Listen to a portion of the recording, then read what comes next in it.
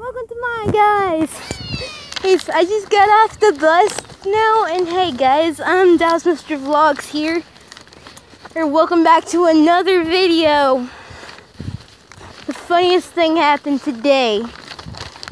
He it said it's something embarrassing, and then I ran into her, her, and she dropped her binder on the ground. It was so funny.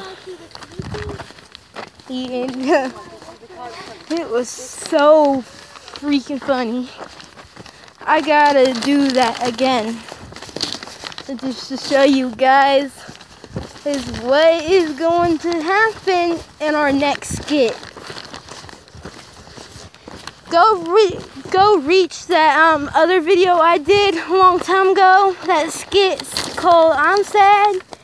It, it's a skit where here I talk about Carson. So yeah, go check that out.